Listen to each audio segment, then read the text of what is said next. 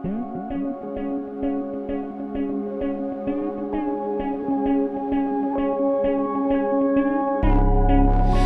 does this always happen? You will not come undone.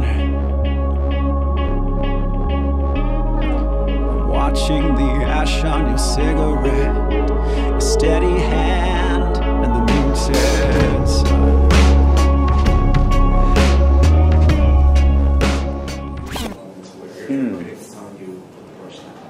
Right.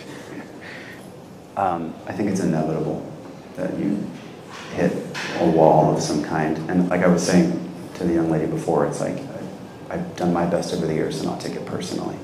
Um, which brings up, there's this interesting intersection in creativity um, where you inevitably intersect with your ego.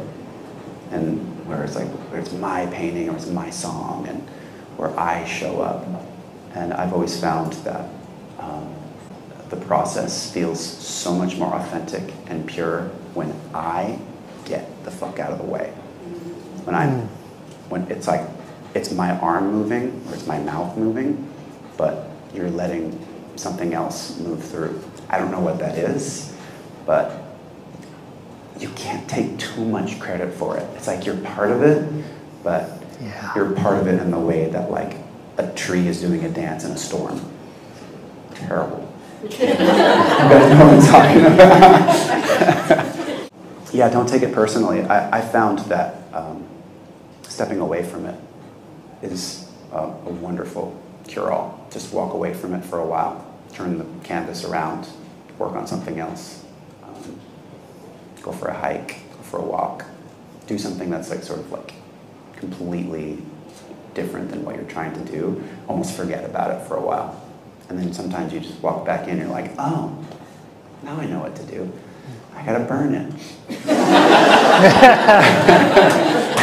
sometimes that works too. Letting the ego go and let the universe Yeah. do its thing. Yeah. You know, it's a gift. It truly is. That's one of the things that's also so fascinating about the creative process as a larger thing is that um, you're there, you're participating, but um, it's, and this is, I think, that's something that's so hard to describe and that's it's hard to study is that we don't really know what is taking place.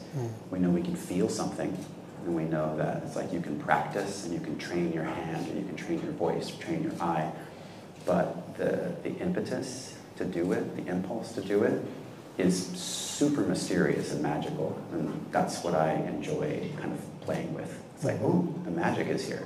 Yeah. Oh, I'll be back. You, know, you sort of go do your thing for a while, so Yeah. it's an amazing thing. Absolutely. Most of the work that I do is, um, it's really in the moment. I don't know what I'm, I don't have like an idea for a painting. I'm like grabbing uh, something out of the air that was only going to be there for that instant.